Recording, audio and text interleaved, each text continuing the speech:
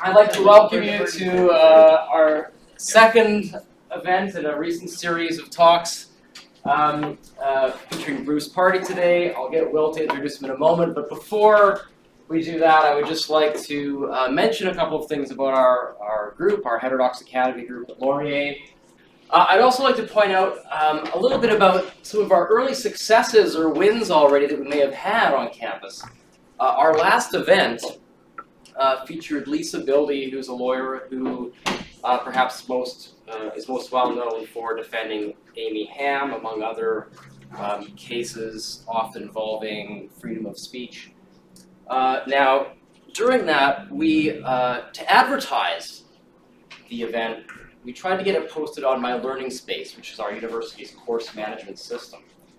Now, this involves um, submitting a variety of information to the My Learning Space uh, information, uh, whatever it's called. But what we do is we, you can see that what they want to know is event postings for specific groups of students uh, are not the type of things you want. It should be something that's for all students that everyone could be interested in. So you can see a couple of examples of a hawk hunt, sort of thing. Now, what we did is, is we submitted this and we were rejected. Uh, they said, uh, this is not from an administrative unit or a faculty or a department, we won't be posting it. So I sent them a notice that here's an example of a student group, it's not an administrative unit, and they posted it. Uh, and they, the next morning, said, we'll post it. So we got it posted, and uh, this was fine. It was up first thing in the morning.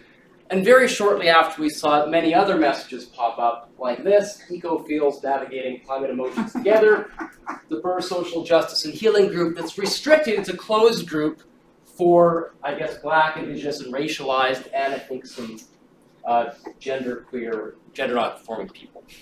Okay, so this suggested to us that, in fact, um, well, it was good that we got this on, but clearly there's a lot of political information going up and ours didn't quite fit the normal political um, band, I suppose.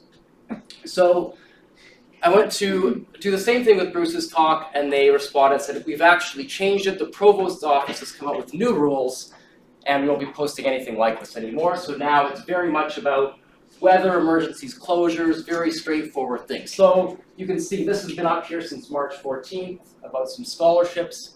Very boring, very apolitical, I would consider that a win. Um, so, I, I, think, um, anyway, I just wanted to point that out as an early success story for our little group. We can make a difference. Um, but now I'd like to go ahead and, and turn the floor over to Will, who's going to introduce Bruce. Okay, I've got a brief introduction for Bruce, but then a bombshell landed on the National Post yesterday from one Jordan B. Peterson, titled A Rotten Rotting Universities. Elite institutions are whale carcasses filled with parasites, is the subhead. And uh, here, I just want to read you the opening paragraph. There's been a spate of articles written lately by academics who have become disaffected by the happenings in our much vaunted institutions of higher education. Most vocal and well known of these are such luminaries as Jonathan Haidt, who started the Heterodox Academy, uh, Jay Bhattacharya at Stanford, Steven Pinker at Harvard. In Canada, Gad Saad at Concordia is likely the most effective and well known of such critics, although Bruce Pardy and David Haskell.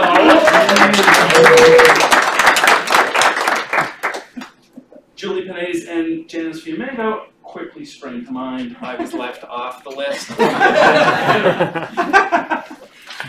okay, just had to bring that up. So, um, this is our second event, and we're privileged to have another lawyer, uh, Bruce Pardy from the Queen's Faculty of Law, uh, Queens is a, uh, Queens is a friend of mine. Bruce is a friend of mine. uh, and so I guess that that uh, it, and, and, we became friends after the uh, Lindsay Shepherd affair. Uh, I kind of found out about his work, and and uh, I'd been unaware of these goings on. So so Bruce is on leave right now. he's um, the executive director of Rights Probe, which is a division of Energy Probe Research Foundation, which is a, a Canadian think tank.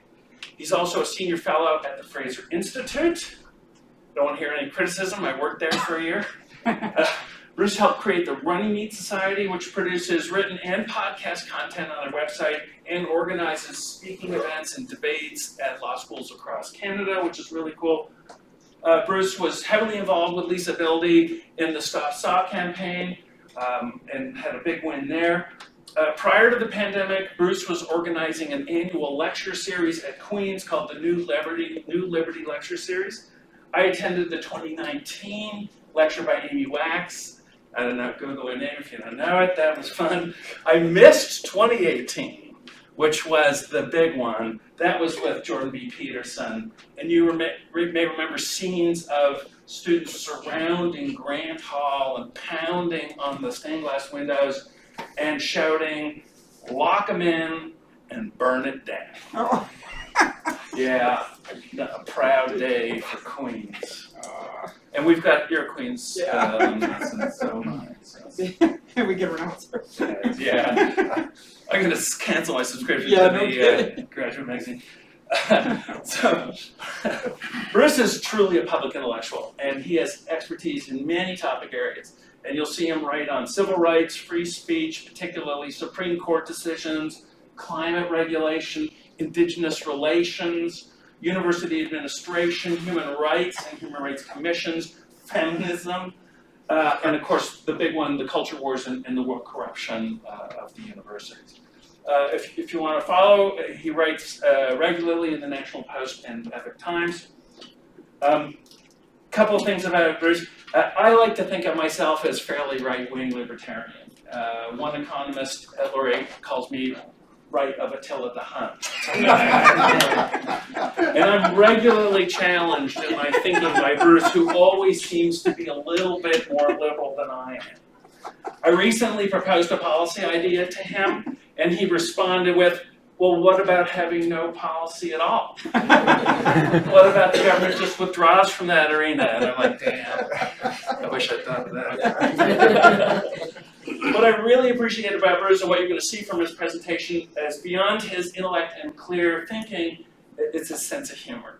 And one bit of humor that tickled me pink was uh, early on reading some of his work, he was critiquing the Supreme Court's reasoning in the Trinity Western Law School case and he compared the court's invocation of charter values to the film The Castle, where the lawyer bases his constitutional argument on the vibe of the thing. it's a great movie, The Castle. Highly recommend So today Bruce is going to talk about an error in constitutional reasoning that has turned equality into equity and free speech into censorship. Please join me in giving a warm round of applause to Professor Bruce Pardy.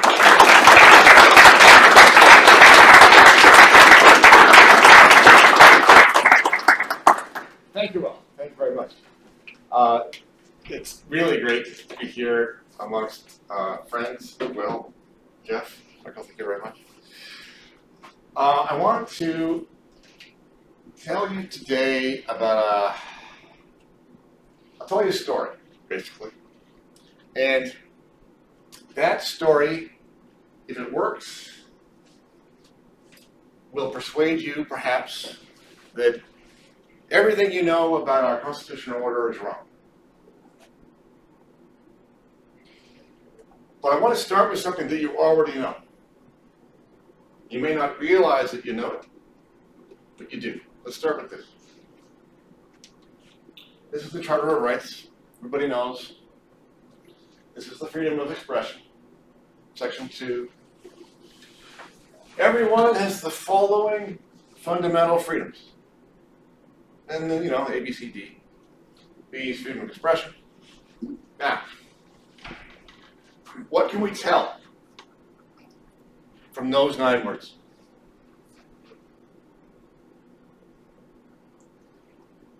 I'm going to suggest to you that the one thing that you know for sure from reading those words is that you do not have free speech. But it says that you do. That's exactly what it says that you do. So how do we know that you don't? Well, it only takes one example. Let's let's design one. Imagine you go up to somebody on the street. You sidle up to them and you say, Give me your wallet, or I'll stab you in the heart. Speech, words. It's also an assault. It's illegal. It's a criminal act. But the Charter says freedom of speech.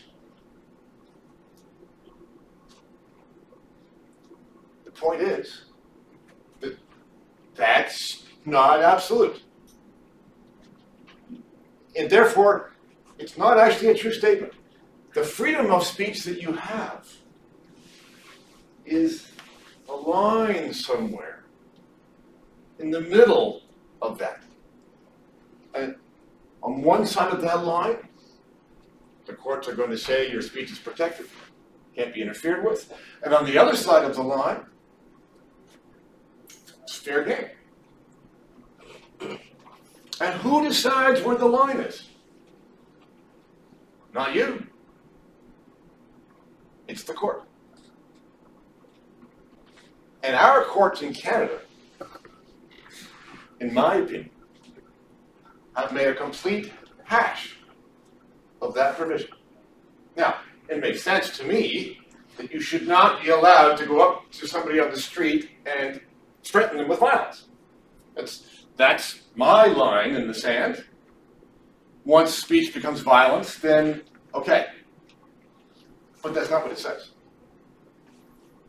And where our courts have drawn the line, using these words and these words only, as well as the famous reasonable limits clause in section one.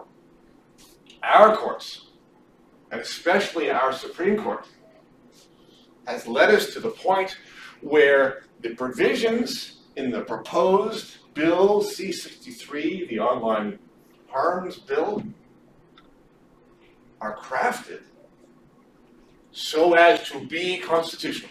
This is what section 13.1 of the proposed um, act says. It is a discriminatory practice to communicate hate speech likely to foment detestation or vilification of an individual or group, yada, yada, yada. Now, that language, and especially this phrase here, comes from the Supreme Court when they, a number of years ago, took one of these kinds of clauses in, a, in the uh, Saskatchewan Human Rights Code and decided this is fine. You can make hateful speech illegal, even though it says everybody has the freedom of speech. So, my point is this. We are under not the rule of law, or even the rule of the Constitution, but under the rule of the court. The court will tell you whether or not what you've done is protected by the words of the Constitution that actually don't say.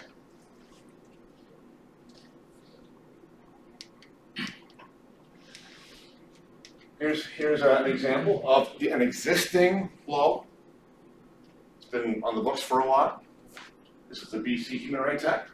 It basically says what C63 proposes to say, which is a person must not express any statement that indicates discrimination or is likely to expose a person or a group or class of persons to hatred or contempt. Okay? That's already in our law. And so everybody making a fuss about C63, don't get me wrong, I, I agree with them. But they're very late to the game. We already have these. These restrictions, basically censorship on the ideas you can express in the public realm. This one wouldn't apply to your internet expression, but it applies when you get on the proverbial soapbox in the park. There are certain things you cannot say in a country with constitutionally protected free speech. Now in the US, they have a statement which is similar to ours. And their law on free speech is completely different. Now, it's not absolute either. Assault is still prohibited in the US, as is other kinds of things like commercial advertising. So it's not pure, but it's different. The kinds of speech that might be prohibited in Canada as quote hate speech probably would be protected in the US, and any law purporting to limit it might very well be held to be constitutional. Now, recently, oh, I'll get back to that in a minute. So, and these things come and go. I mean, there's, there's, there's peaks and valleys in the jurisprudence over time in the US and in Canada on these things. But the basic point is, you cannot read the words of our Constitution and know what rights you actually have. And you know what? You know this. People make the joke all the time that it depends upon what the court feels like this day. That's the truth. Let's try another one. Here's section 15. This is the equality provision. You see, it's a lot longer than the free speech guarantee. Every individual is, look, look how many ways you're equal in this provision. Every individual is equal before and under, and has the right to equal, equal protection and equal benefit. Before, under, protection, and benefit. And look who holds the right. Who holds the right? Every individual. Every single one. Now, what kind of discrimination does it prohibit? It prohibits distinguishing between people on the basis of one of these factors. In other words, this section purports to say that every individual will be treated as an individual and will be subject to the same rules and standards as everybody else without regard to your sex and your gender and your race and your ethnicity and your disability and so on. We don't care. This is the justice is blind provision. We don't care who you are. We are going to make and apply rules without regard to whatever group identities that you might think you claim.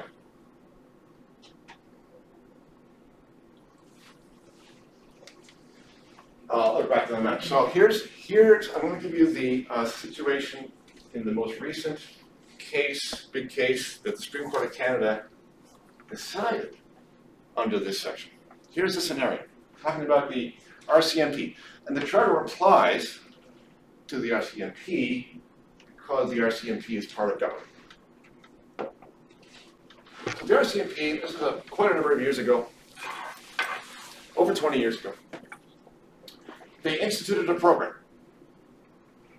wherein their members could decide, if they wanted to, to job share. I, I take it up until that point, everybody who was a member of the RCMP was a full-time member. There were no part-timers. But they put in this program. And they said, you know what? To give you more flexibility, if you want to, you can partner up with another person or another two people if you want to, and you can share a job. You can go half-time if you want to. And if you do that, we are going to continue to provide you with a pension. And that pension will be calculated on the same basis as everybody else's pension, which is your pension benefits will accrue in accordance with the hours that you work. So if you want to, you can decide to, let's say, go half-time, and the pension that you get at the end of the day will reflect the fact that you are half-time.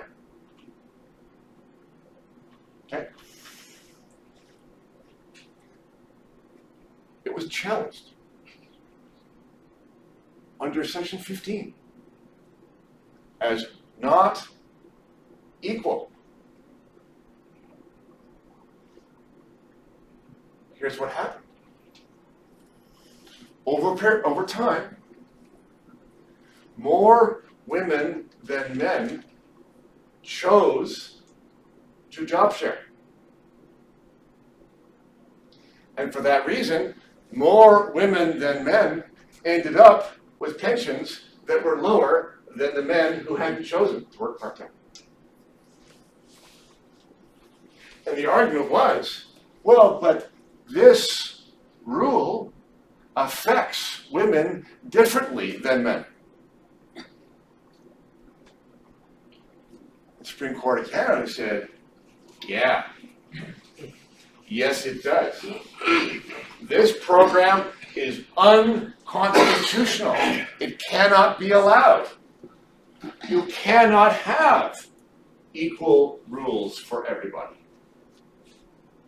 You must craft your rules so that they affect different people from different groups in the same way to produce equal or comparable outcomes. You grasping the implications?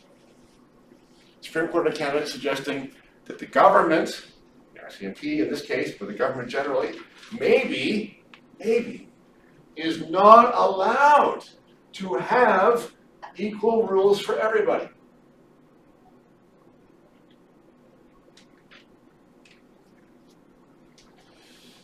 Uh, so, and this, this idea has, it just, it didn't maybe originate with that case, because that case is fairly recent, but we, but we've been on this trend for a while. In fact, pretty much ever since the first case under section fifteen of the charter has taken this tack. Hasn't gone quite as far as that, but we've taken this tack. And that idea has now sifted through the human rights jurisprudence.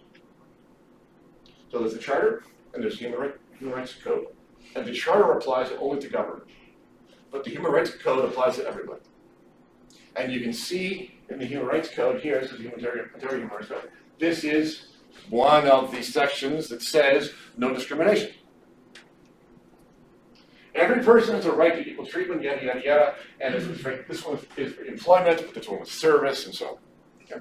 No discrimination. Now, just let me do a, a tangent for a moment. When you see one of these things, whether it's section fifteen or a section of a Human Rights Code, and it says no discrimination, just check that. Let's just back up a step. People think, for this reason, that discrimination in the law is illegal. And it's not.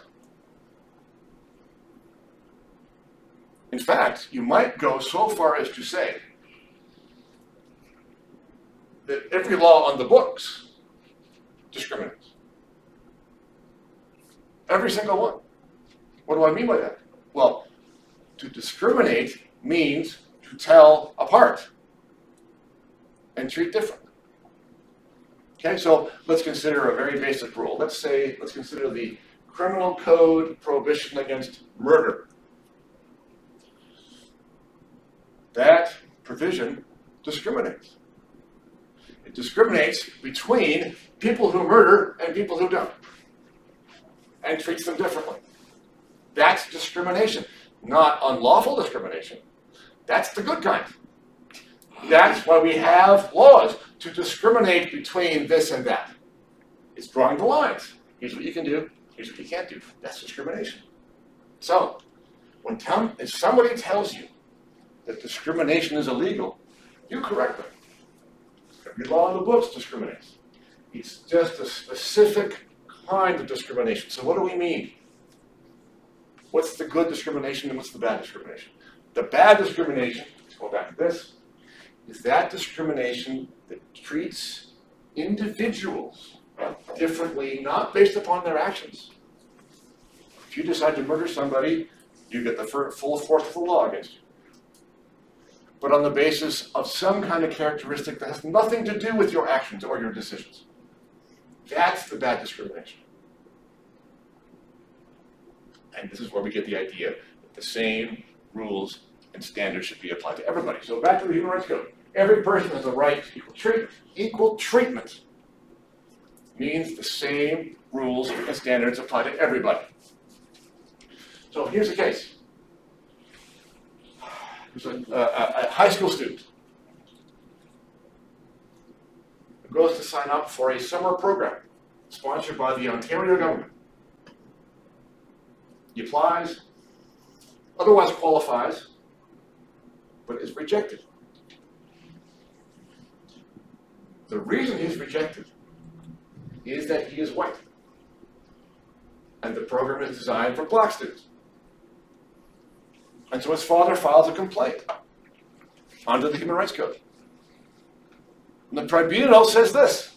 It says, an allegation of racial discrimination is not one that can be claimed by people who are white.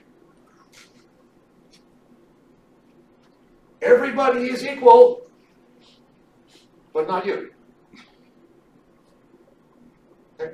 We have slipped from one idea to the other, and here are the two competing ideas about equality. The first is the one I've been harping on. This is the blind justice idea, the idea that the same rules and standards apply to everybody, regardless of who you are. And the other idea is, if you like, the opposite.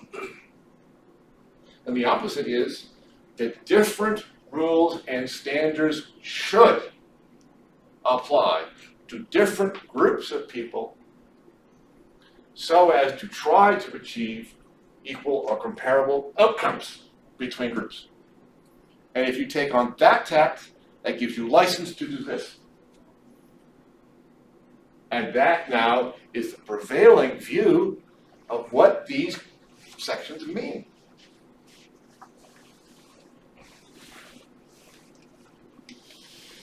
That's another one, don't worry about that. So here's the 14th Amendment. This is, the, again, the American comparison. The American Constitution says less about equality than the Canadian one. Again, here's the Canadian one. The whole big paragraph saying over and over again how you must be treated equally. It includes the phrase equal protection. That's the phrase you find in the 14th Amendment of the US. Nor denies the one that applies to the states. Equal protection of the laws. Now, quite recently, the Supreme Court of the United States, you might have heard of the Harvard case. This is the case where the admission policies of Harvard and the University of North Carolina were challenged because they were admitting people based upon their race. Allowing some in and rejecting others on the basis of whether or not they would make up a, a, a diverse student population like the way they wanted. And under this clause, the US Supreme Court said, you can't do that. You cannot distinguish people on the basis of race. It is inconsistent with the Constitution. That doesn't mean you can't take a person's individual history into account and decide whether or not their particular circumstances have led them to achieve things. Okay. But you can't say we want this many of those people and that many of these people. Because now you are doing exactly what the Constitution prohibits. And note this, you can't tell that on the basis of text. If you compare that text with that one, it's not obvious that those two things mean different things. But in the jurisprudence of these two countries, they essentially now more or less mean the opposite. So, where does this get us? Well, first thing is, I'd like to suggest that this ought to be the section of the Charter. The only section you really need. You have the fundamental freedoms that courts decide from time to time that you ought to have. If you feel like the charter means more than that and gives you more comfort than that, then you are fooling yourself. Because the court has the power to decide. So how did we get here? This brings me to the mistake.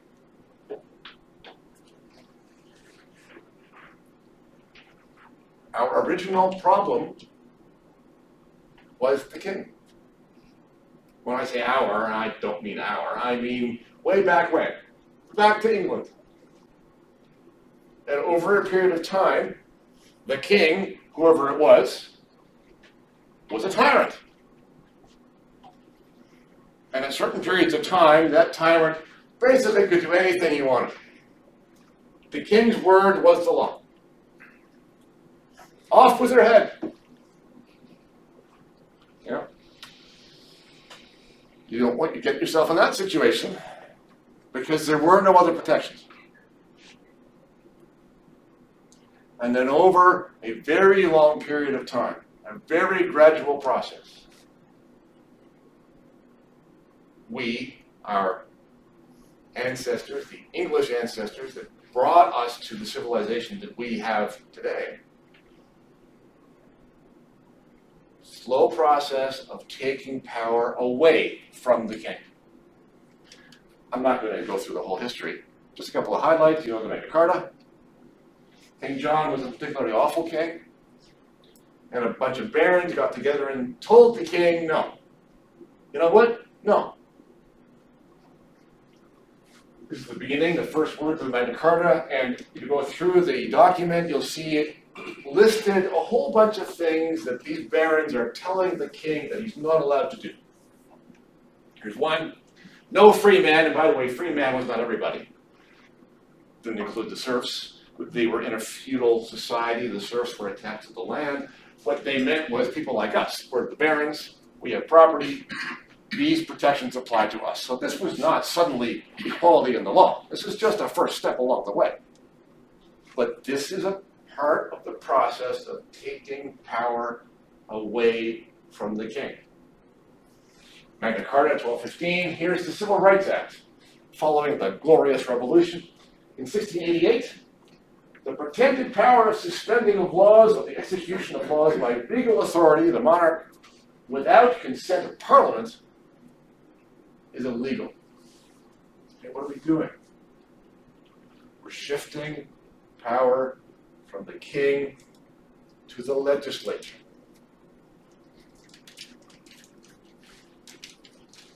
Here's Entick Carrington, 1765. Entick Carrington, there's a guy who writes stuff that's critical of the king. And the king sends his men to raid his house and take his papers because they want to charge him with sedition. And they barge in, they have this warrant given by a magistrate. And this man, whose place has been invaded, says, This is a trespass. Show me your authority to barge into my house and take my stuff. Takes him to court.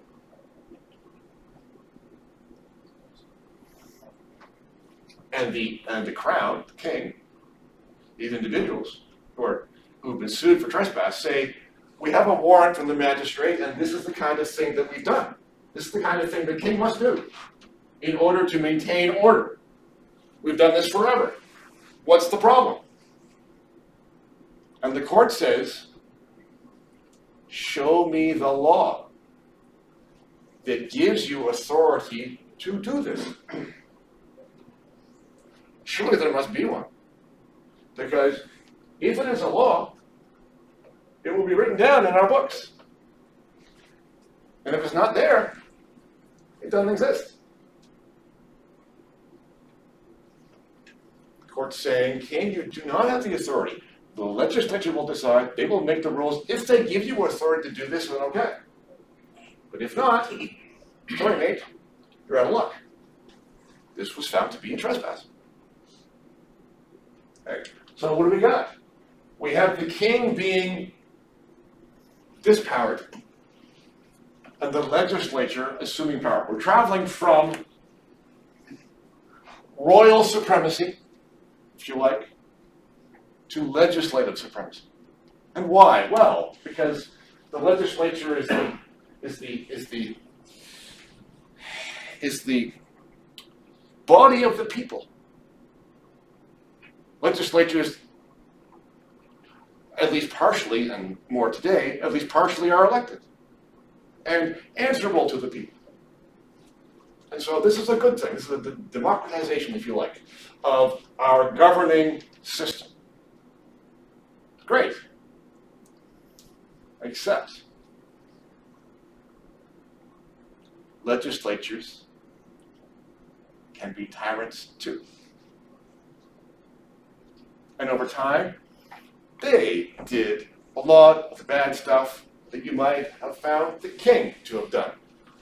Taking your property, imprisoning you without due process, censoring your speech, and so on and so forth. And so what did we do then?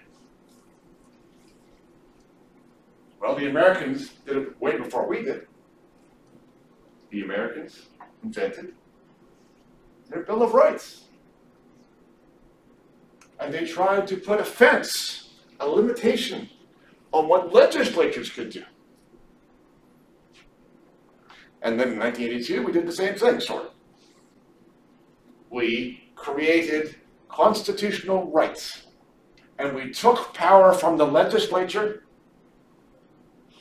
and we gave it to the court. Which is where we are now. Actually, that's not entirely true. That story is not complete. Yes, we are now into an era of at least partial judicial supremacy. That's part of the problem. But we'll go, we even go further than that. Because today, our courts and our legislature are together doing something else as well.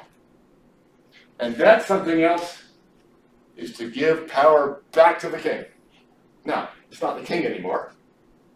The king is just a figurehead. But it is the executive branch of government, which is what the king was, and now consists of this thing called the administrative state. And more and more as time goes on, our legislature and our courts are giving the administrative state the discretionary power basically to do whatever it wants. And that was the problem with the king to start with. This is the mistake. All we've done from the very beginning is move power around.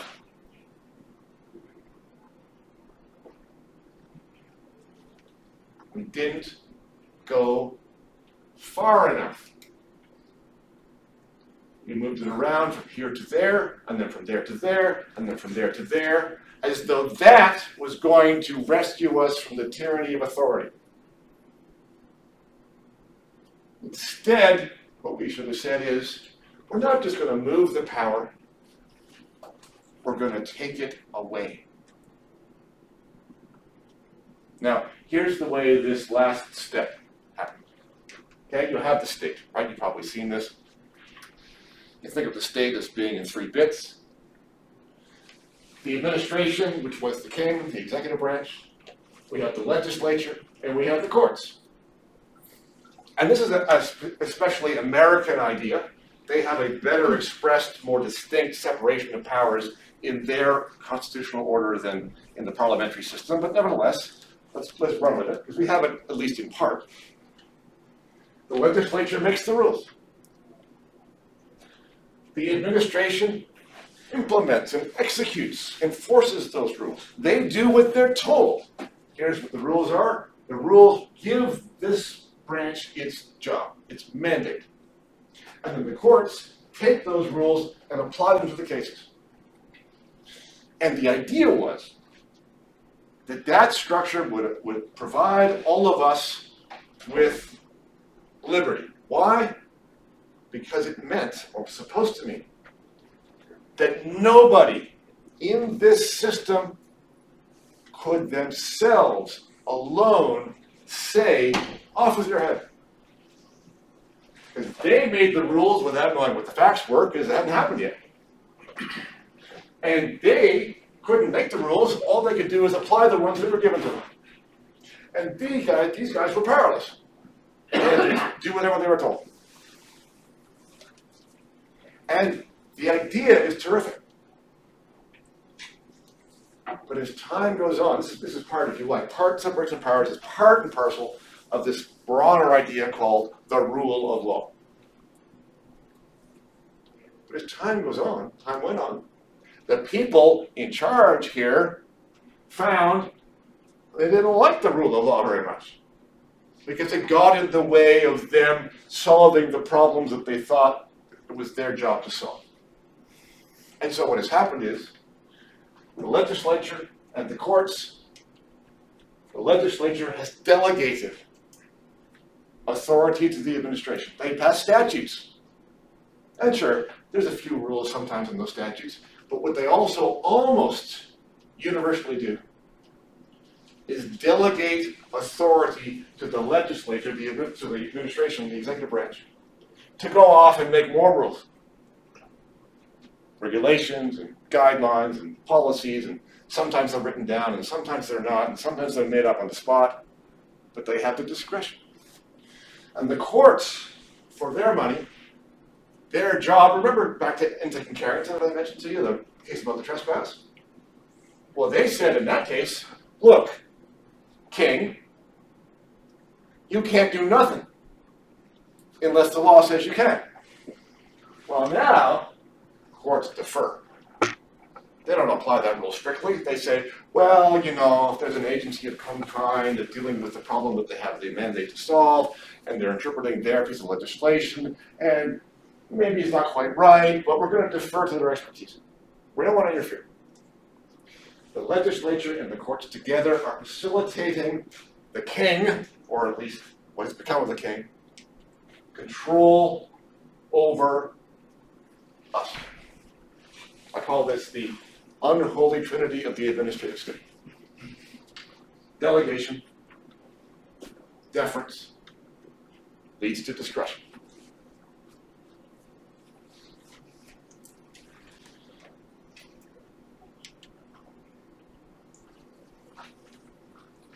They were supposed to be checks and balances on each other.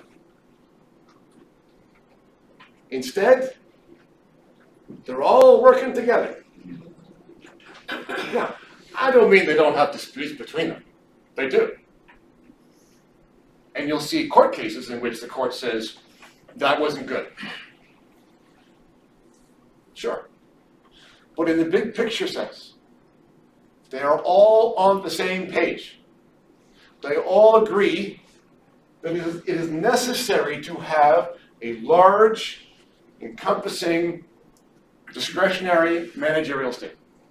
In fact, our Supreme Court has, in, in, in certain kinds of cases, has gone out of its way to interpret the language of the Constitution so as to make sure that that is possible.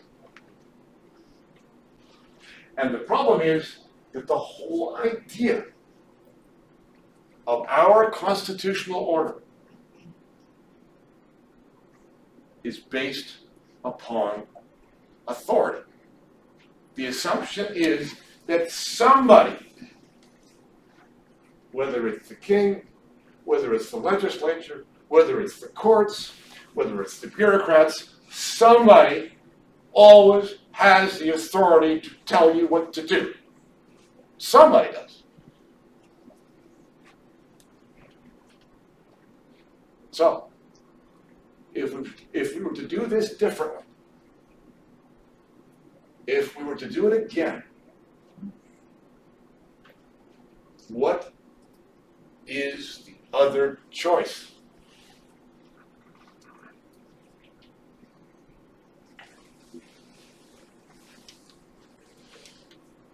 How about consent? Instead of authority, the idea of consent. Now, consent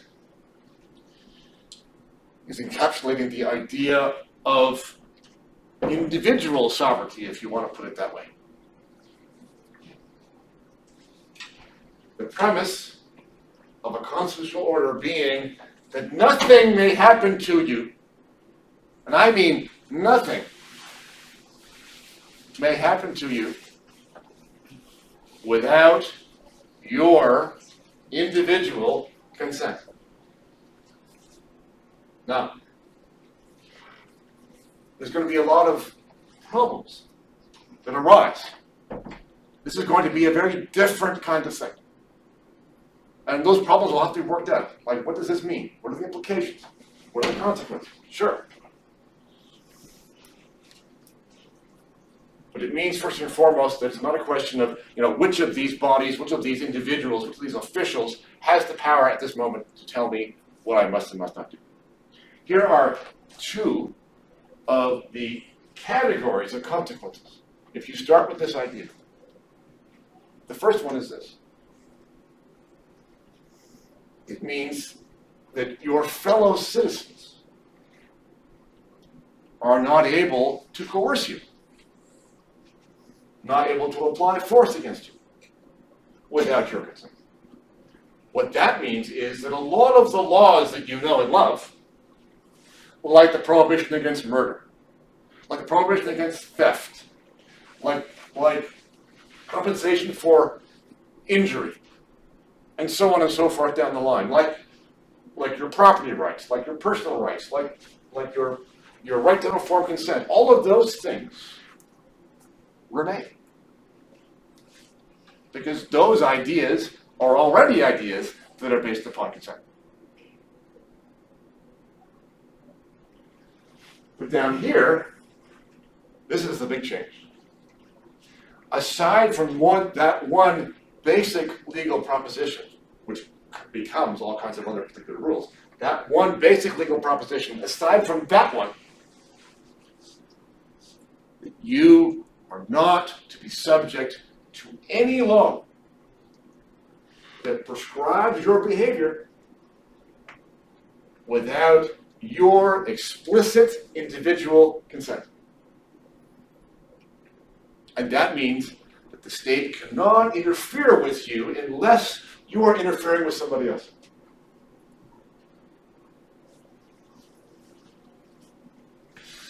Now, if, you, if you'd like to, just for a moment, consider the rationales that have been offered for justifying the system that we have. You know, we take commands from Parliament and from our provincial legislature. Why? Well, because we're in a democracy and the majority decides, or we're part of a social contract. You've heard this theory, social contract theory. Social contract theory basically says, you know, the population has implicitly agreed to be governed in this way. And in exchange for the promise to obey, our governments, those who govern us, who rule over us, will provide certain things. They'll be responsible in the democratic sense. Uh, they'll provide us with services, a certain degree of safety, and so on and so forth. Okay? It's just one of the various ways that have been tried to explain and legitimize the system that we have. Okay? Yeah, let's just call a spade a spade. Social contract theory, bunk. It's complete fiction, right? I mean, maybe I was away that day, but nobody ever asked me. I haven't agreed to any contract. A contract means offer and acceptance. Okay? So it's just a, it's just a, it's just an academic theory, a, a legal theory idea, so as to say, yeah, it's fine the way it is. Okay? Baloney. It's not true. Here's the truth. Laws are applied and enforced with force. That's all there is. I pay my taxes for no other reason than if I don't, I will get in trouble. Not because of social contract, it's not because I'm ethical, it's not because of democracy, it's not because I agree. It's only because I don't want to get into trouble. And I will get into trouble because eventually at the end of the day, After I've refused and refused and refused and refused and refused and refused, they'll give me lots of chances, sure. But at the end of the day, the very end of the line, the police will come to my door. And if I still refuse, I will be guilty of contempt of court, and they will put me in prison. That is the force of the state. That is what all laws are based on. And that's the thing that has to come away. Except for this one. This is the one exception, right? This is the paradox of the law. In order for the, in order for us to have a legal system, a legal order that prohibits the application of force and coercion on other people, you have to have a legal system that will apply that rule with force. Otherwise, it's not a rule. Okay? So there is always that one exception. So what I'm suggesting to you is that our conception of rights, our of constitutional rights, of human rights, is completely backwards. They do not mean anything like we imagine them to mean. They are not central to the system. They are not where our law begins. They are mere glosses on the central proposition. And that central proposition is authority. If we have a system of legislative supremacy, that means the legislature, and I mean this quite literally, in a system of legislative supremacy, the legislature can do anything, like anything, if they legislate it to be so. They can take away your property, they can throw you in jail, they can censor your speech, they can take your children, they can do anything they want. Okay. And the only limitation on that is these rights, uh, this right, this rights idea. But as we started with, those rights depend upon the court. So the idea of rights is just to manage and manipulate which of these two bodies has the final say. It's not you. It's one of those two. And maybe even the third, given the discretion that they've been given. Okay, so I would like to throw this idea of individual rights out as a mere gloss on the system that we have and instead look at the order itself. Change the premise of the order. Don't start where we started. Don't move the power around. Let's take it away. I think maybe I'll stop there. And uh, we can have a conversation. Thank you very much.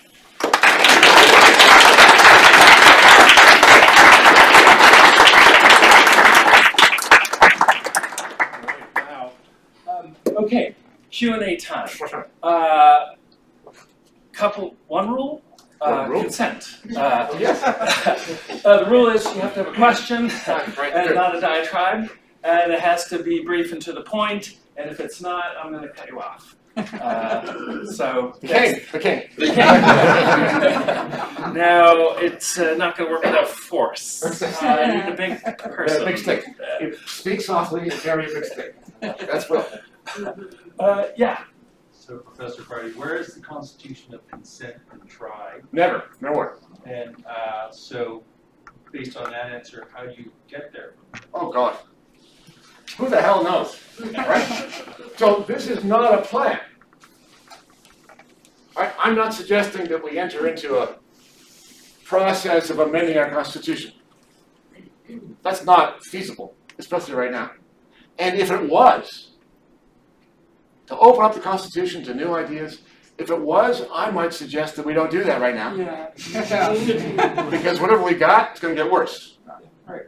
Right? So the point of this is to try to think about what's wrong and why. So that we at least have an idea about what maybe could work better. I grant you that getting from A to B is going to be very difficult, probably not in my lifetime. I don't know, but it's an explanation more than anything else. Isn't that back right. My So the concept of consent, I'm hoping that maybe you can explain it a little bit again. I got, I got stuck on the part where it's coercion, okay, so, uh, you, it's, um, they, you cannot be coerced unless there's consent, but doesn't coercion negate or sort of, like, Well, how do you, how do you prove that they weren't coerced to consent? okay, so let's distinguish between between two things. And, and here's, here's a qualification. You're still going to need courts. It's not doing away with courts, right? Because courts are supposed to, and always has been supposed to, been in the business of resolving facts, factual disputes. Okay, so there's going to be factual disputes about whether or not you've consented. Let's say there's an, uh, you know, somebody is accused of assault. Let's say somebody is accused of tackling somebody else in the street. And the, and the person who did the tackling, has been accused, says, no, we do this all the time. This, this person has consented to this, he talked with me last Tuesday. Okay, now you have a factual dispute. Okay, that's not unusual, you're gonna get that, that is gonna have to remain in the hands of the court. You're gonna need some kind of third party who is supposed to be objective and neutral to resolve that dispute, no question. Uh, but the, but the factual indeterminacy is different from the idea that, well, people maybe can interfere with you. So it's, we're trying to distinguish between the, the, the rule and the fact. Does that, does that help at all? No. No. Specifically with coercion, okay, so Yes. for example, in the porn industry, and I know this is a topic that you love. Oh, yes. Did you read Louise Perry's book, uh, the one about, uh, the, the case against the sexual revolution? I mm, have not read it. Okay, so she talks about this, and this is where I'm getting, this is where the, idea of consent is where I really start to question it. Okay. Um, the idea is that everybody who participates in the porn industry is consenting to do so. Yes. Um, and she talks about consent not being enough because many of these women were coerced. Right. Um, but when you are being coerced, Yes. whether it's that or something else, you may not know what's happening, Mm. or you may be so afraid that it is, it, but it becomes almost impossible to prove later that you were coerced. So, like, you could be afraid for your life, or you could, and people could go on for, you know, 10, 20 years Sure, in a contract, Sure. which they were coerced. Like, sure. how would you deal with that, you know, in a, Okay, so let's, let's back up. I- I- And so when you get into a difficult problem with respect to a, a sticky subject matter, which is what that is, what I like to do is to leave the subject and put, and create the same kind of scenario in a different context, so you can see what's going on. So instead of pornography, let's talk about normal kinds of employment. Okay? Let's say that you, um, are uh, unemployed and unskilled, and you need a job. And you go to a department store chain, and they offer you a job to s- to to sweep the floor. It's a terrible job, pays little, and you have no choice. You take the job. Question. Have you been coerced? The answer is no. No, no, no, no, no, no, no. Coerced by who? By your circumstances, sure. But that's not what we mean. We mean coerced by the person offering you the job. You have not been coerced by the prospective employer. How do we know this? Because if you really wanted to, you could say no and walk away. Now, if that employer said, if you say no to this, I'm gonna send my guys after you, okay, now you're being coerced. But if you can take it or leave it, no questions asked, you are not being coerced no matter how bad the offer is. Okay, so, now we'll go back to pornography. If the person who's trying to get you to do porn is threatening you, like, if you don't do this, bad things are gonna happen to you, because we're gonna look after you in a bad way. Okay, now, now, that's, sure, that's coercion if it's just that you know these women have like no other better choices, they don't want to sweep the floor, and pornography pays better than sweeping the floor, so I'm going to choose this instead of that. That is not coercion. That's a couple of bad choices. And you are responsible for your own life, part and parcel of this. Is that you're responsible for your own life. And you make the choices. So, And the government cannot step in and make rules that apply to you that don't apply to everybody else.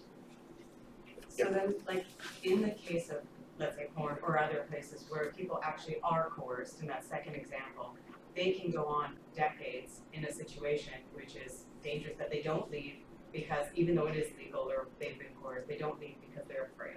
Uh-huh. What, how does this framework protect people in those cases? Like, you know, do we, you are coerced into your job. The employer says, if you don't take this, I'm gonna get somebody to come after you. And we know that happens all the time. There's Sure. human trafficking, organized crime, there's all kinds of coercion that goes on. People enter legal agreements all the time with coercion. How do we, how do you create laws that help those people? Well, so the only, the only real law you need, I mean, yeah, it'll be uh, spelled out in more detail with respect to the particular topic, but the only real rule that you need is this one. If you're not allowed to do it, then it's unlawful to do so. If it's unlawful to do so, then you can sue somebody for doing it, or if you have criminal authorities, they can prosecute for doing that. And the only question is, how possible is it to do that? Do you have a legal administration, a, a system of justice that works better than the one we have now? The one we have now doesn't work. Because most of us don't have easy access to the courts. It's too expensive, it's too slow, it's too difficult, it doesn't make sense, it doesn't work.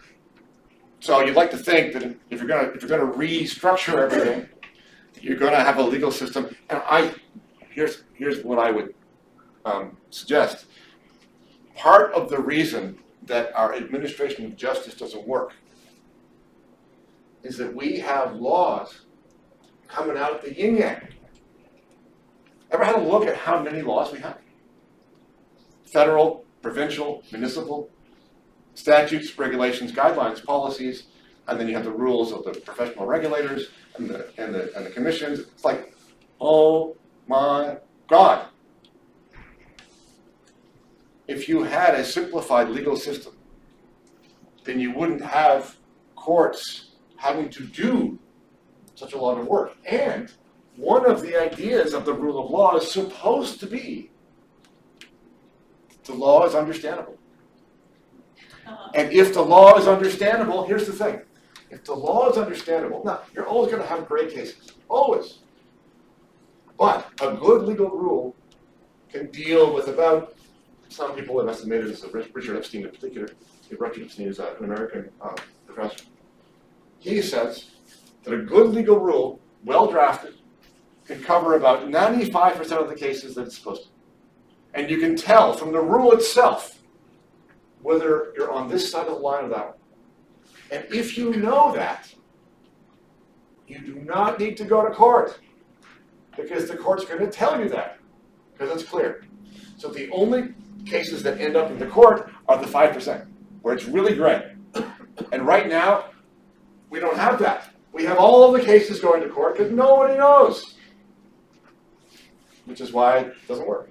One of the many reasons it doesn't work. Before we go to the next question, I mentioned how funny it was talking about porn and calling it a sticky subject. Is that, is that lovely? Thanks, Will, thanks. Um, getting back to your comments on, uh, social contract, um, I know there's a long philosophical and legal tradition of social contract, uh, people in our, in our history. Yeah. Namely people like, uh, John Locke and Thomas Jefferson, who thought, Jefferson thought we could renegotiate the Constitution every twenty years, every generation. And he based a lot of his ideas on Locke, who thought that we had the right to revolution. Do you think that through our right of peaceful assembly, we could establish direct democratic citizens' assemblies and renegotiate the social contract, much like they did during the French Revolution? I, I mean, it might be preferable to what we have now. But I wouldn't put a whole lot of faith in it. I don't really trust democratic rule either. No. Right, dem- dem- dem- let's, let's put it this way. Democracy and liberty are two very different things. Because democracy allows the tyranny of the majority. And if you're lucky majority, in this country, it's the tyranny of a certain segment. But the whole reason for having the idea of individual rights is to say to the majority, in the guise of the legislature, here are the things you can't do. So that renegotiation you're talking about, although it really should take place, the danger is that we'll be back again into the situation of the majority trying to decide where they can't go. And so it's perilous, I think. Is that why we put the liberal democracy, like the liberal part in front of the democracy? And surely some freedom can be expanded through co- cooperation, you know? And that's the Isaiah Berlin's dichotomy of Sure. positive and negative freedom, the negative freedom, lack of interference, the positive freedom. If we work together for safety and cooperation, we can expand our freedom.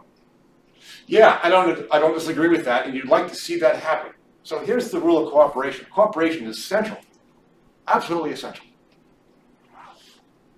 But it actually has to be voluntary cooperation. Okay? If you're if if you're being encouraged to pay your taxes because it's voluntarily cooperation co- cooperative, I say no, it's not. In order for it to be cooperation, you have to be able to say no. If you can't say no, it's not cooperation, it's coercion. Okay? So if you have very small, much smaller areas of coercion, one and two, then everything else can be cooperation. And that's the way we all have it. Are you keeping track? No? The young woman uh, in the second row. Hi, so are you saying we have to do virtually nothing in our toolbox to help us? At the end of the day, that's what I'm hearing, I, it's not, it's not that we have nothing, but we don't have as much as we thought. That doesn't mean you have to, you, you you can't, you can stop trying to work with what you have. But I think that in order to be most effective with the bad tools that we have, we have to understand how bad they are.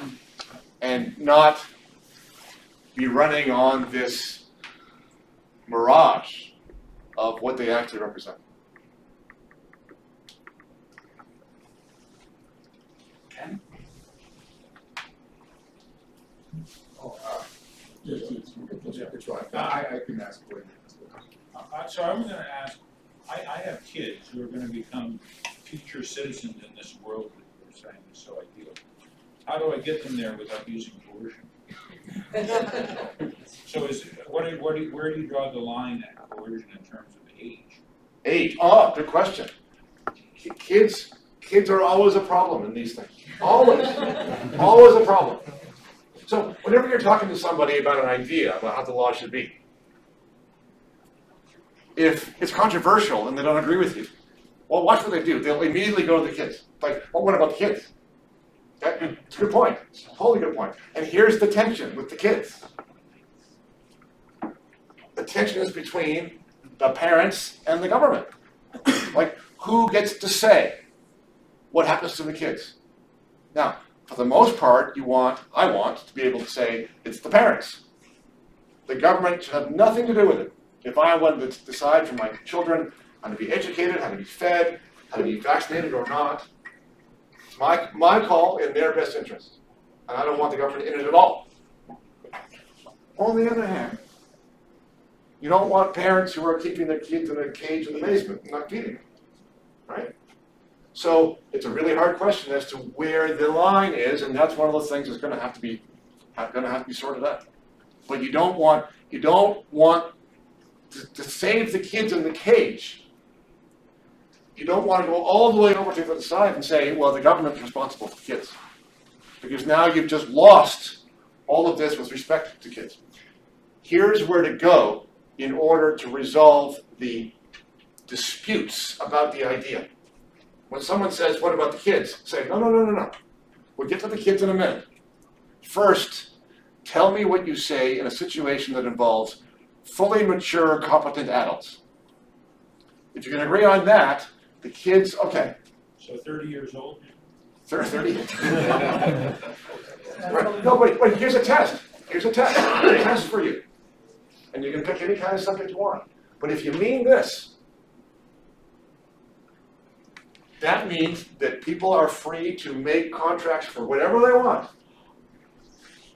assuming there are consenting adults involved. That involves sex, it involves death, it involves all the bad things you can imagine.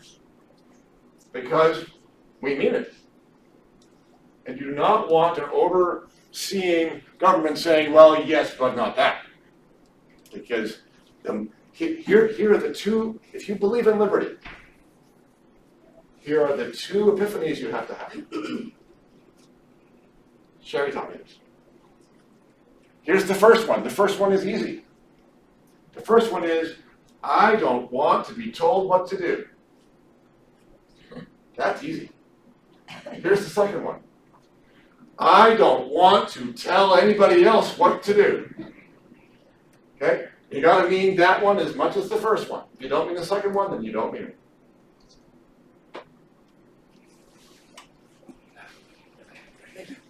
So I'm, I haven't fully fleshed this out, but bear with me. Yes, okay. If in a situation where we still have courts, right, and courts are interpreting this, Yeah. how do we not end up in the exact same situation where we are now? Because the people who were protesting a couple weeks ago are gonna interpret that very differently than I would. Absolutely.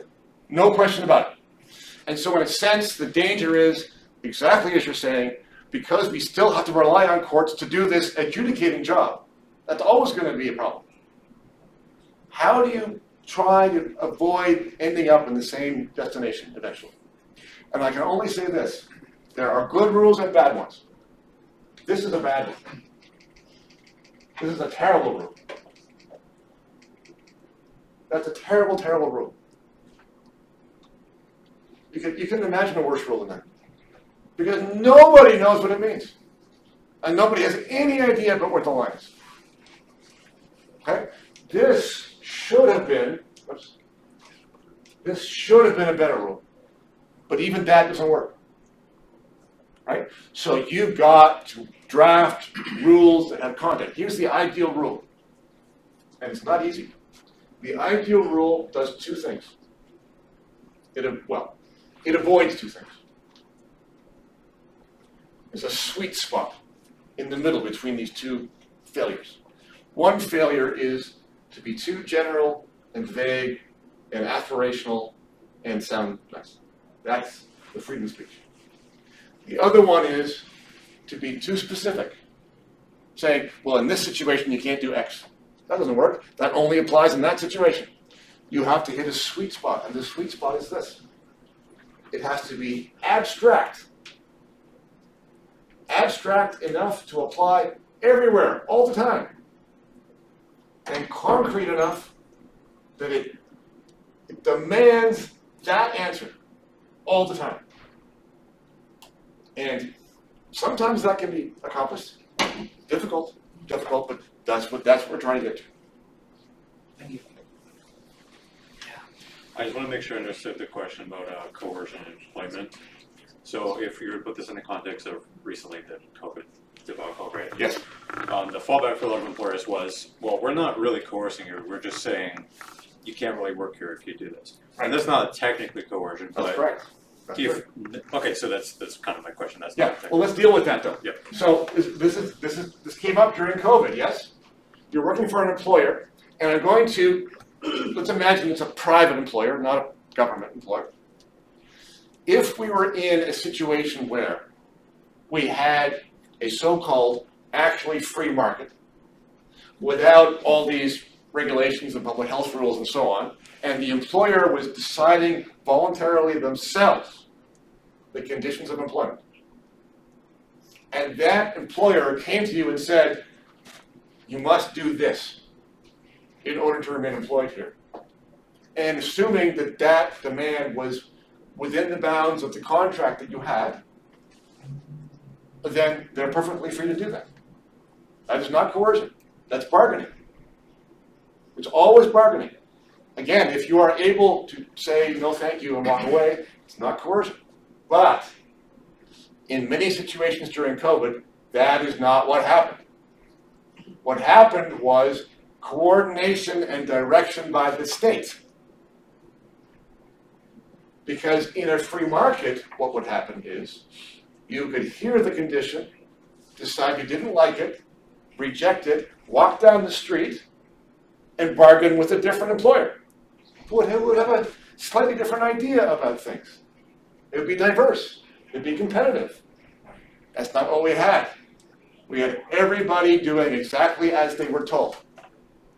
And part of this new regime is not just that the government can't actually make, you know, make rules and make you do this. They can't be involved. They are not there to direct. They are not there to keep you safe. They are not there to solve social problems. They're not there to gather up revenue. They're not there to have propaganda campaigns. They are out of it. And if your employer in that situation says, gotta do this or you're out, well, then so be it.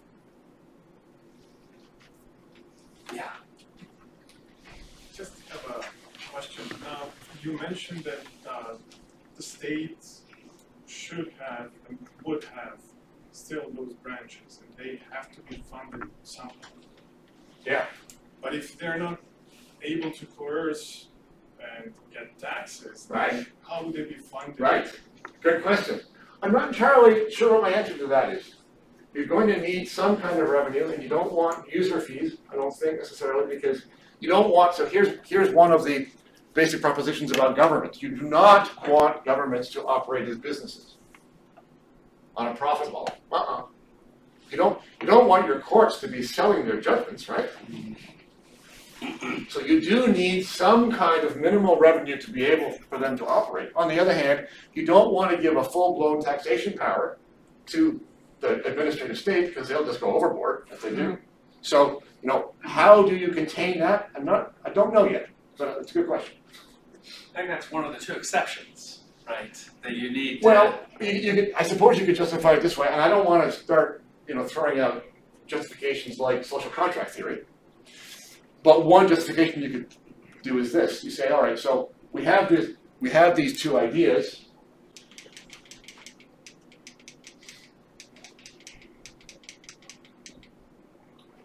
Um, and I've suggested that because you have the first idea, in order to achieve that idea, you actually have to have the state to be able to apply force only in those situations. That's the paradox. Maybe the, the necessary taxes to, to make that possible could be lumped in with that justification. I mean, that's, that's as far as I've gotten so far. Kevin, in the back. Thank you. First of all, thank you for your talk, I, I enjoyed it. Um, So I would want to talk about the Yes, this one here. So a caveat to that is, no one is subject to any right on the contact you between. So the Caveat to that is that if you're not infringing on the rights of else, you're not causing harm. Right. So, um, to what extent can that provision apply universally when given, um, lasting conceptions of harm? Uh, We live in an age now where harm is getting inflated to encompass Yes. you know, more and more things. Yes. Nerds who got in trouble putting out that sign about J.K. Rowling, something. Yes. Wouldn't have been an issue, you know, or, or like not deemed as a criminal issue uh, fifteen years ago. Right. Um, is it possible to have a, uh universal definition of harm that applies across time and space? Okay, I'm glad you asked that question. My answer is this. This is not based upon harm. This is based upon force. If you act in a way that causes somebody harm that is not coercive and using force, you're totally fine. Now, just for a minute, let's imagine things as they are today.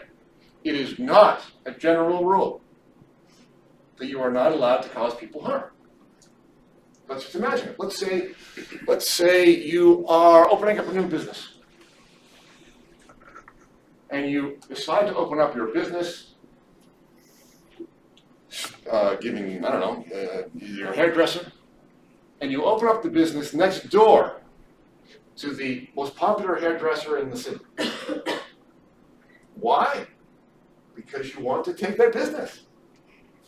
Now, the objective might not be first and foremost to cause them harm, but that's part of the plan.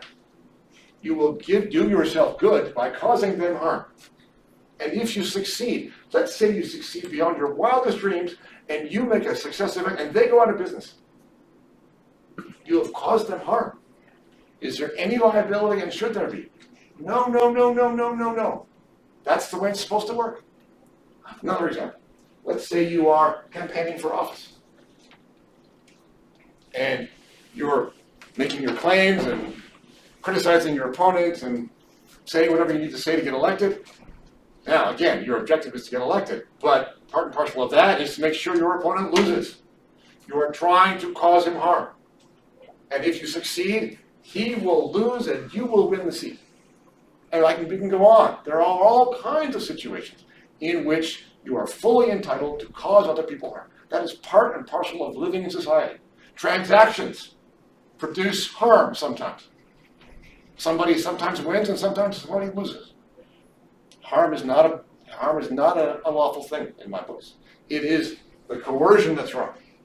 And so if you speak, you say things in, in your free speech that is not a threat of physical violence, but that speech causes somebody harm, I don't give a damn. Um, yeah, I, I, I take your point, and I appreciate that, but again, we, we live in a time where, where, um, psychological harm, um, devaluing identities to our, our important physical harm. And I think this is, this is where, uh, you, you notice that executive branch is increasingly taking liberties. Yeah, yeah, oh, for sure, for sure. You know, for sure. where they're, an area where they're Yeah. increasingly liberties.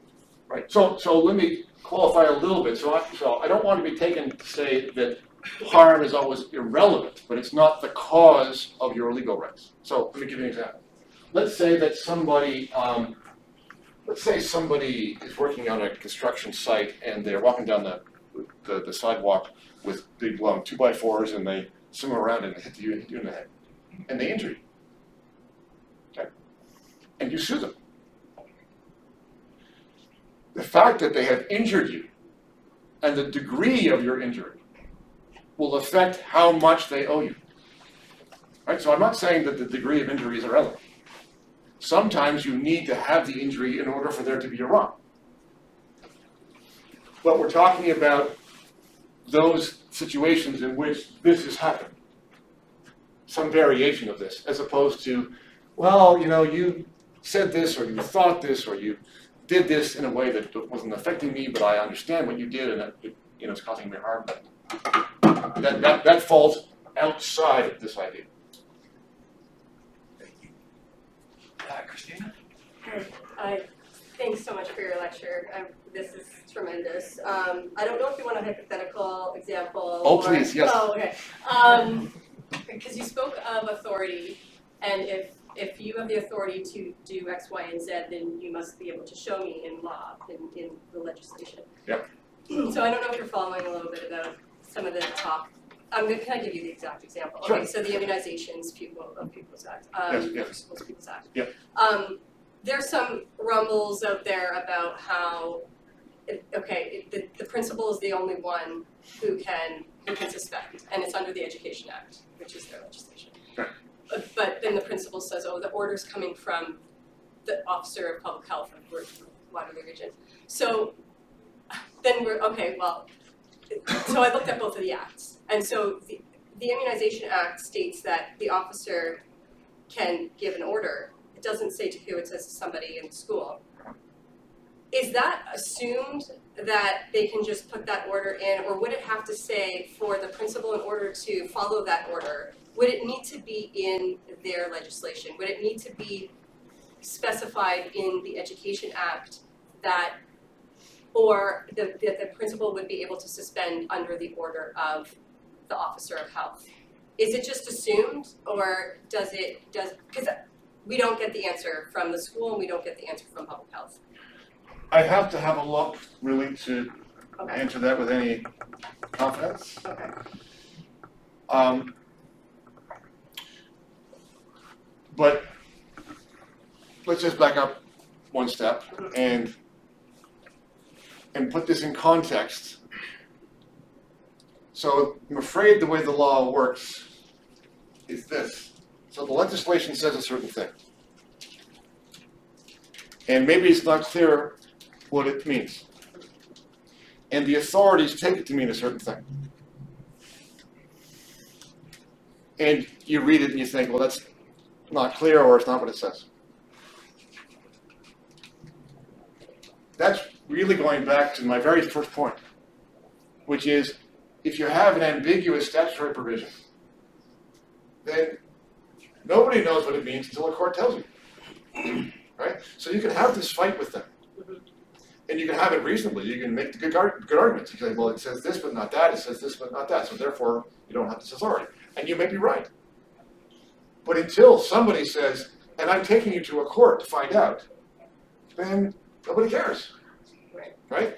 And to add insult to injury, it is quite possible when you're dealing with a public official that that public official, depending upon the context, might be entitled to the deference that I mentioned from the courts.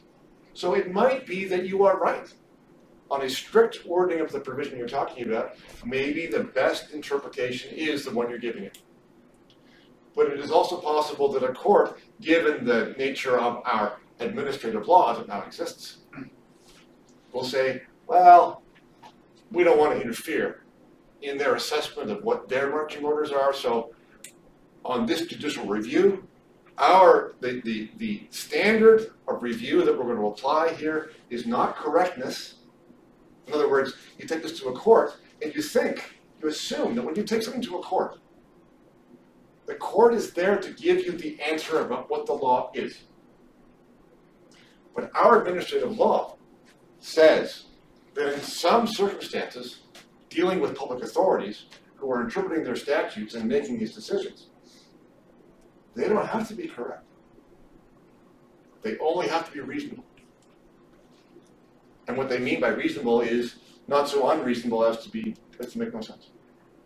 Okay? So the court is a place to go, but that doesn't mean you're going to get the answer that you want. Yeah.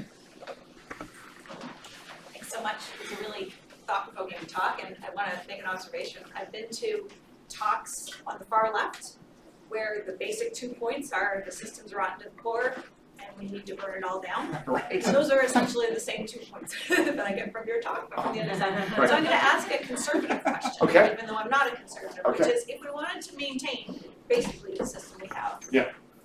Let's keep democracy.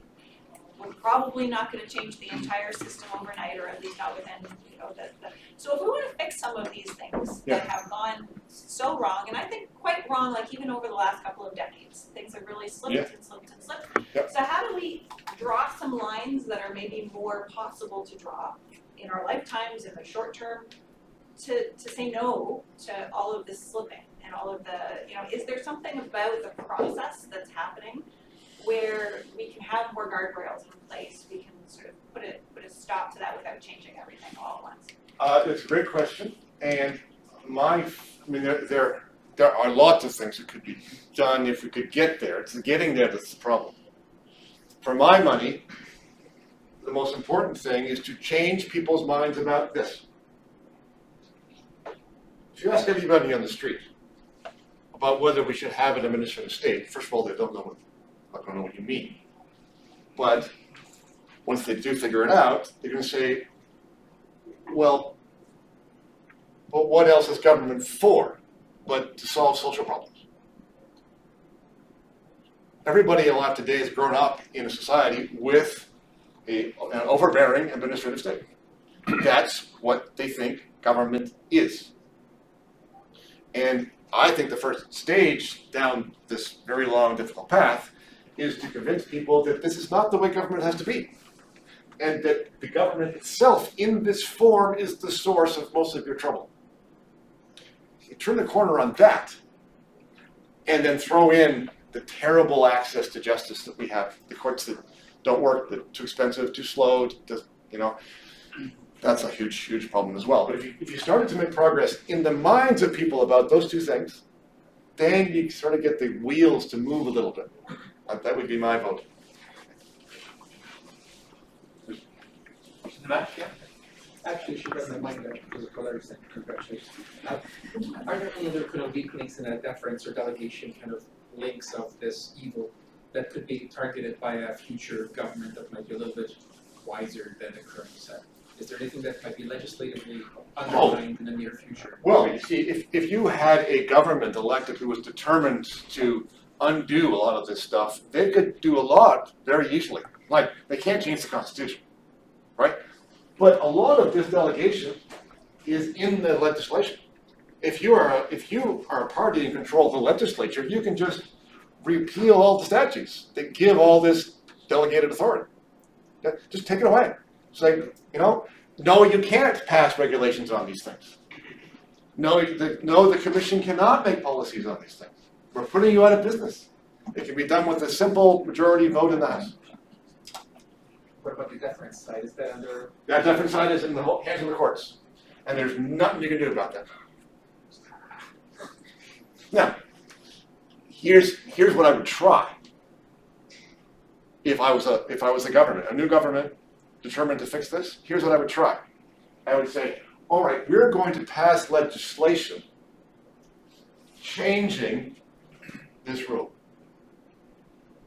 And then the ball would be in the court's side, and they would decide whether or not they were going to accept that legislation could legitimately do this, or whether or not they were essentially making a constitutional decision about the nature of judicial review. If they decide it's constitutional or quasi-constitutional, they're not going to accept the legislation. But there's a lot of commentary inside the jurisprudence of administrative law that says that statutes are very important, and the signals they give are very important. You might just make a lot of progress if you are very clear in your roster of statutes that said, no, no, we do not want, we do not want you to give them deference. We expect our administration to be correct. I think that might make a lot of progress. Ah, yes. We've been writing a document together for the last uh, couple of weeks, so we're on the same side. So you'll forgive me if I ask you. Sure. Hostile So Yeah, yeah, yeah, great, good. So it was interesting to me that you got us to the this utopia of the the consent. Yeah. With a long story which started in um, kind of uh, mid medieval England. And um, and that tells me something. So if I looked at that story, the story, you know, I'm a sociologist, so I think Norbert Elias or Huizinga or all those kind of people. And so it's set in a very particular society, an Anglophone history, and you kind of made reference to that. Yeah. Um, and I think just thinking about it, it, it the, the, the sort of even though you're you're cautious about getting from A to B, but the B that you're talking about, it couldn't happen in with the Nuer in Sudan, and it couldn't happen with uh, in in sort of Viking Norway, and it couldn't happen in um, I mean pretty well anywhere except in Anglophone countries here and now, maybe in hundred years' time. Right. So what? So so so in that in that case, you're you're kind of posing this kind of universal um, sort of solution based on a kind of anthropo- an underlying anthropology, um, but you're skating over the sort of the deep process of formation. Because so this is a conservative point. I don't think you can have this. Mhm. I think you can you can have it unless you have a much more communitarian kind of process of the formation of a certain type of individual, which means that that first uh, provision would be subject to much more kind of horizontal communitarian uh, uh, sort of coercion, essentially, the kind of Right. coercion that we coerce our kids with. So that's a socially, and I, so I want, I want you to say something about the anthropology underneath. If that makes sense. Yeah, yeah, it makes a lot of sense. So, it's the, if, if I can put it this way, this is the tension between, between, uh, an idea and, and human behavior. And you're talking about human behavior, as it evolves differently in different contexts, different places, different histories and so on. I'll give you that, no problem. But the idea doesn't change depending upon where you are. The, the idea is independently what it is. And let me put it this way. If you don't have this, I'm, I'm gonna, gonna use a, a, a truism. If you don't have this, then you are being coerced? The rule is no coercion. You don't have the rule, you're being coerced. So you, you're probably right. But to get from A to B in these various places you're mentioning, like, how are you gonna do that? Because inside these societies are pressures and tensions and forces and so on. I respond to the conservative objection to this kind of idea this way. I say, actually, to think of all those social pressures to conform to this or to that, I got no problem with any of those. Here's the only proviso. If the coercion is legally voluntary, as in not coercion at all, if you are allowed to say no, even though the social pressure is enormous, even though you wouldn't expect people in Norway, in Viking Norway, to say no, because they're Vikings. If they're allowed to, then it's voluntary. But, but that means it only works if you've got a, a reservoir of Christian virtue which has been built up over a thousand Hold years, on, which we. What do you mean- internalize what do you mean by works? Well, it, it, it only becomes thinkable. Someone like you can only have the thoughts that you're articulating now Mm. um, with that 2,000 years of history. In, in a way, you're a product of, uh, you know, Sure. 18th and 19th century Sure. liberal Sure. ma- market uh, society, and and and and so. Um, so you're, you're building on a foundation. So you, your system can't produce the foundation. Uh, I'm not gonna, I'm not sure I'm gonna give you that. I'll, I'll, I'll give you the, I'll, I'll give you the, I'll, I'll, I'll give you the genesis of, of the product, for sure.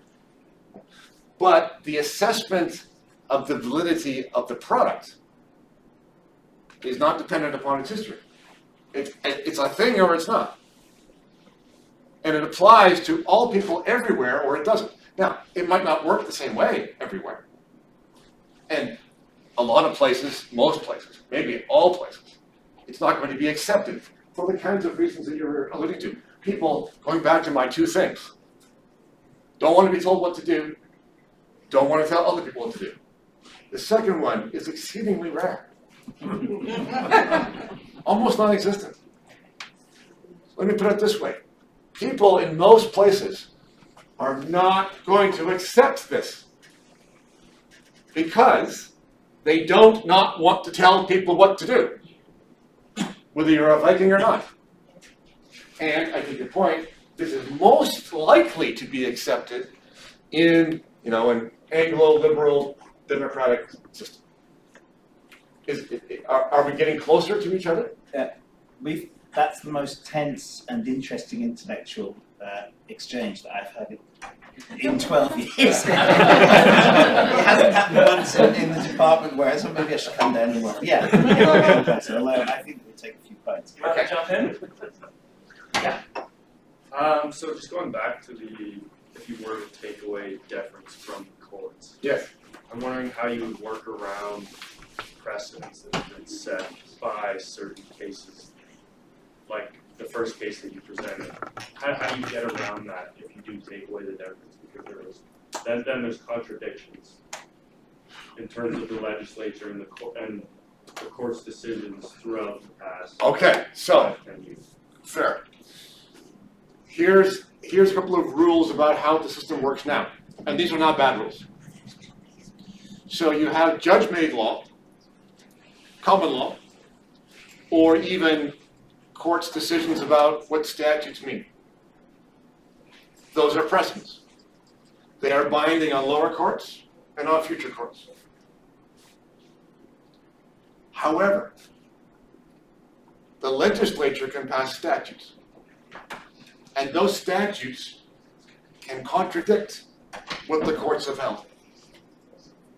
So now you have two things. You have a statute that says one thing, and the common law that says something else. In that conflict, what trumps? And the answer is always the statute. The statute, a statute can change the common law any way it wants to, as long as it says that it does. Okay, so there's really no contribution there at all. We, really just have time for one question, because we lose the classroom, there's a class in here afterwards. And I do want to give you guys a chance to chat with each other, I think that's a really valuable part of this. So who hasn't asked a question? Yeah, go for it. Hi. Um, I apologize in advance. I'm not really in like political. I'm a doctor. I don't do this. But the same question, this is what I always have to people who propose things like this because I agree with it, like your two rules. And I understand that if you were to introduce like three, four, five, it automatically breaks apart the system of rule one and two, like helping each other. So you know more than you think you do. But my issue always is like, it doesn't, there are things that are objectively immoral, like my example would be torturing animals. And would you really say that you would be okay in that kind of society as, like, we're not in a sort of environment where we are at that stage, like, we're not in the past time, you know what I mean, sorry. Sure. We're in the modern age. Sure, sure. So you would be okay with a law system that doesn't protect animals from something like that? It's a really good question, really good question. A, a sticky question, sticky question. Uh, let me, let me, so there's, there's two difficult parts of your question, and one is the subject matter, the animal torture, and the other one is the, is the proposition about objective morality. Okay, I'm, my, that one's one of my favorites, let me do that one first. This is difficult for people to swallow. Uh, I'm not here to make a case that there is no such thing as morality. Not at all. I believe that there is. And I also believe that I know what it is. but that's the problem, right? Whenever you purport to understand what it is, that part's fine. It's the next step that's a real problem, which is, and I intend to enforce it. Because now you can't prove that what you know to be true is actually true. So, even if there is a morality for our governance, we have to pretend that there isn't. Because otherwise, all you have is force. Right? So that brings us to the problem of the, of the animal torture. I don't want animals to be tortured. But how do we get there? How do we get there unless we start to wander away from these two ideas? And I would like to think, actually, this, this relates to the point that you were making, right? Yeah. Because it is a, it is, I think it's incorrect to say to ourselves, because this is where we've ended up in our society. Our, the guides to our behavior, the signals, the directions, they, they come from the government. That is not the way things are supposed to be. We are supposed to be a society of interacting people. And I would like to think that even if we didn't have a law, you'd have enough dynamics in the society that everybody would agree, if not everybody, then most people would agree, listen, you can't do that, you can't do that to a cat. And those outliers would get enough social approbation that they might give it up. So, still don't think it ought to be a law. But I do think, I'd like to hope that we would look after it so that that didn't happen. Maybe I'll close with a quote apropos of this. Uh, Liberty lies in the hearts of men and women. When it dies there, no constitution, no law, no court can even do much to help it. While it lies there, it needs no constitution, no law, no court to save it. That's Learned Hand. I want to thank Bruce Pardy for our fabulous